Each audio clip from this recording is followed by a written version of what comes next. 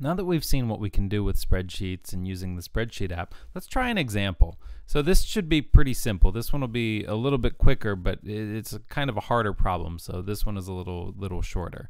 Uh, first, create a new spreadsheet and then enter the script editor. Uh, once you've done that, create a new function called fill data. Uh, here we're going to see how powerful computers can really be because if you were to fill in 1,000 columns and 1,000 rows on your own, it would take a bit of time. Um, but we're going to create a function that's just going to fill in data.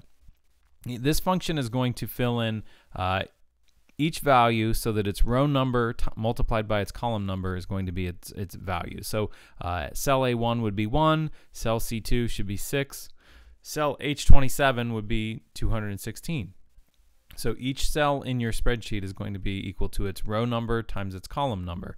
Uh, when you're all done, you should see something like this when you run the function one time. And you can see, you know, we've got one and then two, three, four. So as we move up or down or to the right and to the down, uh, we just have a sequence there. But as you see, the, you know, column B is two, four, six, eight. Then in C, we're counting by threes. But entering all of this data by hand, even if we were using formulas, would take a very long time. Using your your functions, you can actually make this happen very quickly once you've written the function. Uh, when you're all done, you should have a thousand rows of data, and the the column should go all the way out to column ALL, uh, which is column 1000.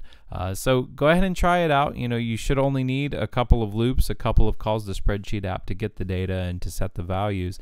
Uh, but go ahead and try it. Uh, hopefully, it'll give you a little bit of experience on using the spreadsheet app and uh, give you some insight into how that you can make this work for your projects in the future. Thanks for watching and good luck.